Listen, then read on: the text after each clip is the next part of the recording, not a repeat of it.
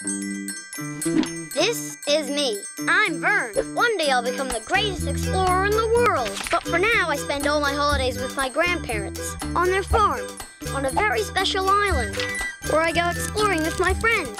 Gaston the robotic pig and Horace the magic merman. He's magic because every time he touches water, something unexpected happens. Let me show you. What? Hey, whoa. Ooh. Whoa! Merman magic!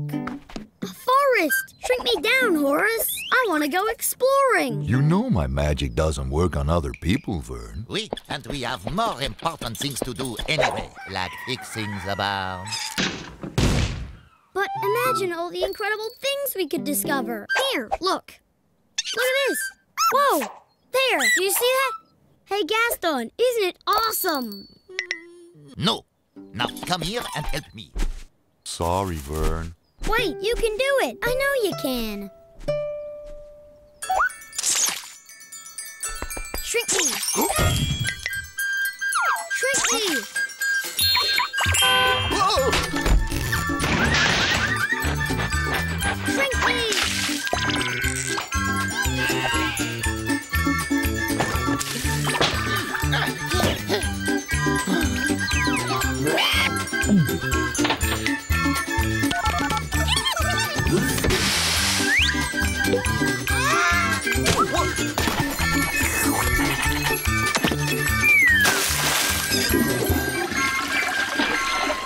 Voila, fini.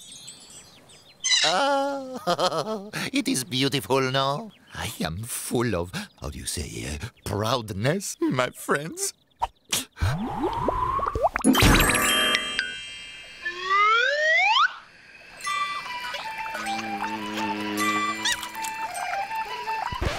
Hey, he did it! Horace shrunk us. Woo! Actually in Horace's tiny forest. Can you believe it, Gaston? Hey, Gaston! Where are you, Gaston? I am in the barn.